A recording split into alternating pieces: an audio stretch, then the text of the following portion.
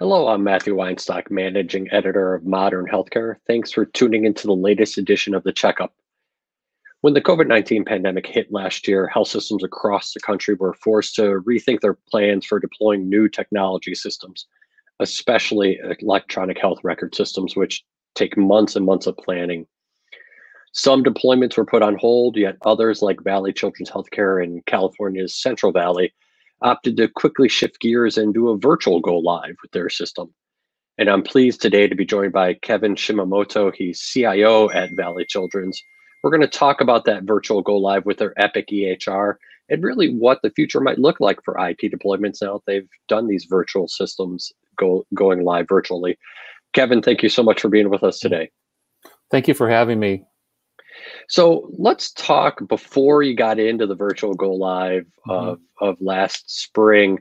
Um, just walk us through sort of before the pandemic hit where you are, where you were, excuse me, just with your Epic um, planning in, in terms of going live with that new EHR system?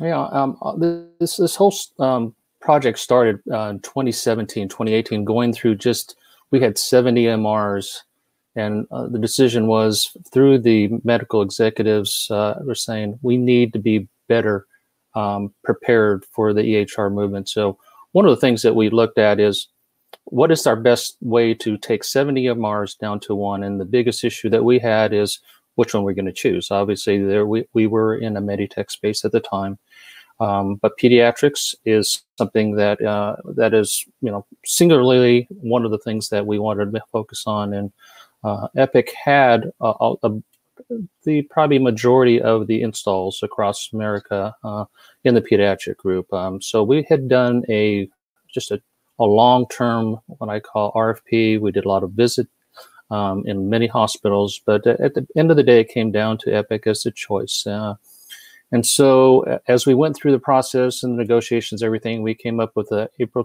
25th, uh, 2020 uh, go live. Uh, and it's tr- traditional go live. We're, we're staying on what they call the foundation system for our pediatric facility.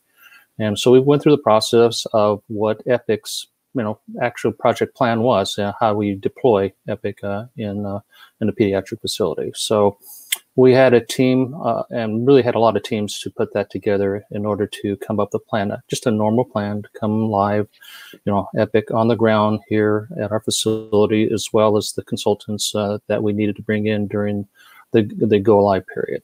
Okay. And and so eh, you know, as you're thinking about this, April mm-hmm. 2020, obviously there are months years even of planning this process. Mm-hmm. You, you, right. We get into 2020, the pandemic hit, pandemic right. hits in March. Right. Walk us through then what the thought process was at a leadership level of, boy, do we stop and wait, or you you eventually decide to go virtual? Yeah. How did that process play out? Yeah. Great, great question.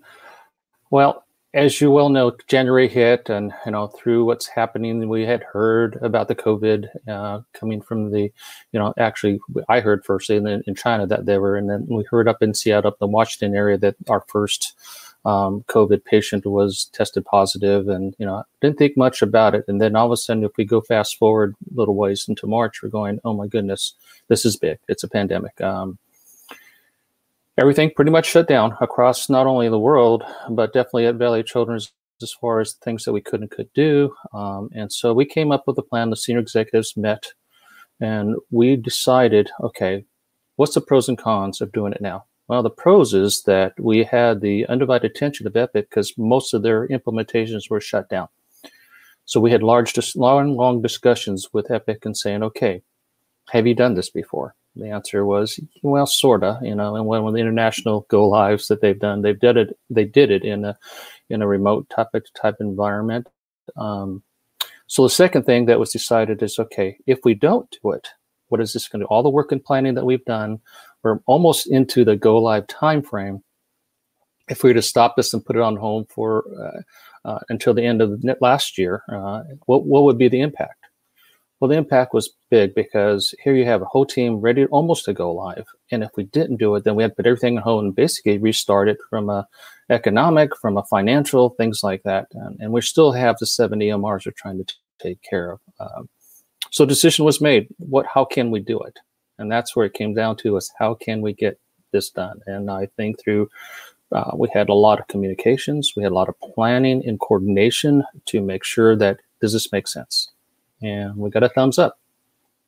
And as you say, you know, Epic had some experience internationally. I'm sure the consultants you brought in mm-hmm. had some experience, but mm-hmm. how nervous were you about doing a virtual go live of this magnitude? Yeah, well, the main thing is your foundational things you're going to need. One is how can we take care of the end users remotely, you know, through either, you know, so what we came up with a plan with our consulting firms as well as Epic is to do a few things. We had on the ground uh, a command center employed by our team members. So no outside consultants could even come into our facility at the time. And that was part, part of trying to keep the patients safe. The second thing we, we decided is, okay, how do we take care of our end users during a go live? Well, we opened up four different locations, meaning when I say locations, but locations within the hospital. So we had our video conferencing systems up 7 by 24. We had put our phone systems and integrated that with our consulting as well as Epic so that we could they could take over and then uh, video as well as taking over their systems. I mean, so you've got a PC, an issue, we those end users or those consultants or uh, people that were away from that, they can actually take over those uh, PCs during the issues that they had with either a clinician or uh, a physician, um, depending on what the problem was. And then we had an intake center of all the tickets coming in, and then we would put them out to the various proper locations, super users, users, whoever were deemed for that um, scheduled to be on, on online. Um, worked wonderfully. Um, having Epic 7 by 24 open channel, even though maybe a lot of times no one was at the uh, our, our, you know, our different sites. But we definitely we always had um, definite times that we had uh, determined what is the best uh, times to have our meetings. And so that all worked out well. So, been, so basically, bottom line is getting us coordinated was the big thing. Having the technology to be able to, you know, not only see and but also to coordinate. So if we had major issues, that we can have uh, actual a virtual um, room for people to gather and, and talk about the issues, and we got through that all virtually. And like I said, having uh, the ability to have a WebEx and having the ability to have the tools necessary to take it, it was determined that the risk would be a lot lower we have the right people, right time, right place to make sure that everything was taken care of in in the very short period of time. As you know, go lives are very strenuous. Um, there's right. a lot of things that we had, so we were had a big command center that we were going to have. You know, have people, probably 100 people within that command center to be able to do the net normal things, but we weren't. So we virtualized our command center, if you will as you think about virtualizing the command center, even staff training of the mm-hmm. clinicians, mm-hmm. I'm curious, you know, we heard so much about Zoom fatigue last year, right? And even mm-hmm. this year, did that play into it at all of just, you know, people tired of having to do everything remotely? Was that a consideration? You know, um, at first the, adrenaline was really going you know what i mean? So the adrenaline because the adrenaline was going that was the biggest thing that kept us going um, into about week uh, day five day six day seven day eight we started to kind of see some fatigue going on and all you know we did everything we possibly could for the team to make sure that they stood they they stayed as as well as they personally can. And uh, so we had you know, like I said, our team had our command center here, but the other side of things were the consulting groups as well as Epic. They, you know, obviously we went through it, but they had enough people and team members to be able to fill those scheduled areas. And we got new fresh looks. We got new fresh people. They got some rest, and and it definitely uh, didn't seem at that point uh, to be a big issue. Got it. Okay, so you're a year out from mm-hmm that go live right you know if you had to grade sort of how that effort went compared to a regular go live i'm sure you, i know you've done a lot of yeah. other go lives how do you compare yeah. it you know one of the things that you know some things I, I, thought were relatively even better because you had even though you're in a virtual environment we had some runners to actually go to the big cases where there are the big issues but basically you had a physician to physician who was able to talk to the physician right at their PC. They didn't have to move. They didn't have to wait. It, they were right there taking over that particular physician's PC. And I heard, you know, through the ORs, which is a tough one uh, to to to communicate with, they were really pleased of well how well the communications went. And so that part to me was better in, in cases because a lot of times you just can't get into an OR. You know, you have to gown up. You got to you know make sure that you're you're sterile, make sure that you have the pro- proper. But man, having a physician to physician talk and like we're doing right now, it it it it really worked well. Yeah, and so if you again if you sort of think back over that rollout were there things you would have done differently or are there things that you learned as you go into more right. deployments that you'll do differently because of this process? I, I think you can't uh, test enough before, meaning do testing, meaning whether it's your your computers, your printers. But we did a pretty good job of that. I think um, not knowing what it didn't know is, you know, the connectivity side sometimes wasn't really good, but that's it's going to happen. So you, you should have a, a, backup plan. So if Epic went down or one of your consulting groups went down, well, we're in this case, knock on wood, that didn't, that wasn't an issue. Um, probably a little more timing um, as far as planning, planning for uh, a go live that is handled, you know, utilized, you know, how we did it. It was very, um, was, we had to throw it together very quickly. And, and what I can say is, uh, you know, the leadership at both our organization as well as Epic, they they really opened their arms up and said, "Hey, we can do it. Let us know what we need to do to make it happen." And uh, you know, if I look at a year now, um, if there's anything I would be doing different, is just a little more timing on, you know, knowing what the a pandemic really is. Uh, mm-hmm. knowing the the cause and effect of it. You know, we're, we're feeling the fatigue right now. I mean, you know, sure. as you go through post a year, we're still you know coordinating uh, a lot of the things to try to get uh, to a stable, optimized environment. When you take it from seven EMRs to one, obviously you've got all the ins and outs of things, and we're still work we're still in this pandemic yet, even though you know we see a lot of you know I, I think lights that are going on that people are starting to be able to move around, be a little bit more um, you know back to what they call the norm a little uh, as we get through the vaccine side of things. So, but we still are seeing the fatigue, and I don't think it's just us being live with Epic, but I think across America we're all seeing this fatigue going on, and um, it, it's difficult. Like as we're doing right now, just being on a screen seven, eight hours a day. Uh, it, has been a, a huge um, change in in taking you know seven to nine hundred people from their normal jobs to their homes, and, and but it had opened up a lot of things for us to say we could do things a lot more, uh, having you know some of our employees work from home and uh, it's worked out in my case pretty. Pretty well. Yeah. Well, you, you bring up fatigue, and, and obviously a, a deployment like this is taxing mm-hmm. on everybody involved. Mm-hmm. But mm-hmm. the pandemic itself has been taxing on so many yes. people in in healthcare. Yes. So, um, how did you have to balance that aspect of it? The fatigue of a deployment and the fatigue of just staff being there 24 hours a day dealing with you know a crisis. Yeah. Great question. Um, I've got to say, the team that I have here are resilient.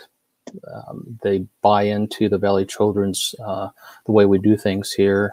It's it's an enormous place. Uh, it, it, if you could come here and do an in- interview here at our facility in a normal time, uh, it is amazing. Um, everything is centered around the kids. It, it really is. The patients are our kids and having that mindset of going through anything, whether it's implementation, upgrades, uh, anything you're trying to do, how can we make it better for our kids? And and that is something that comes from the board down to the, the actual employees who who try to make things happen here. And if you have that mindset, it's it's it's really they go above and beyond because you know the end product if we can put tools out there for the clinicians and the physicians uh, medical staff the better we can be for that patient. And that's what we really focus on. We really focus on patient care and safety and quality, things like that. Right, right. So, lastly, Kevin, I want to ask uh-huh. you've been through it. Um, mm-hmm. What do you think this means for deployments of, of any system in the future? Do you do you imagine that more deployments will be virtual at this point, and you won't need to have Yeah. consultants and others coming into your facilities once we get past the pandemic. You know, it really has opened an opportunity, you know, for a lot of our uh, organizations across America. Uh, I believe, yes, to I, I would do this again. Um, one, you save a lot of travel costs. You can you know have people here locally.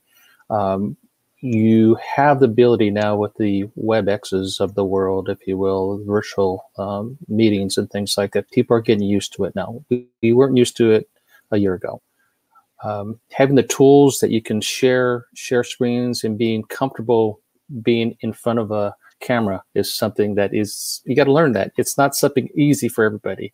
Um, uh, i would definitely think you know and as we hear across america we op- kind of opened up the avenue for implementations and had a lot of calls uh, regarding this. And uh, i would definitely think this is a, a way of the future you know controlling costs um, still having a great implementation, but the way that we put the programs together may be a little bit different. But at the same time, we are here for a purpose, and that is to get that job done at this right time. And then we didn't miss that date. We stayed on that date, you know, for two years. And um, if I can conclude with what we says, I would do it again in heartbeat. If we, you know, what I know now, like you said, there's a few things that we change, but to roll it out, you know, talked to a lot of CIOs, my friends uh, across America, and and uh, they said you you pulled off something that was you know not normally most people or organizations would do in a pandemic. And that that is something that i'm very proud to say that it can be done. And i think hopefully opened up the ways for other um, you know organizations to at least take a look at that and uh, obviously from a cost savings point of view not having people in hotels and traveling and things like that. So definitely i think this may be a new norm uh, if Yeah. you will Yeah. Well, Kevin, we appreciate you sharing your Yeah, thank insights and your experience of rolling out the virtual go live. And, you know, who knows when the pandemic's over, maybe we will take you up on that offer and come out and, and tour Valley Children's. we'd love to have you Great. Well, thank you for your time and uh, stay you. safe. Thank you. Thank you very much. And I'm Matthew Weinstock with Modern Healthcare. Be sure to come back next Monday for another edition of the checkup.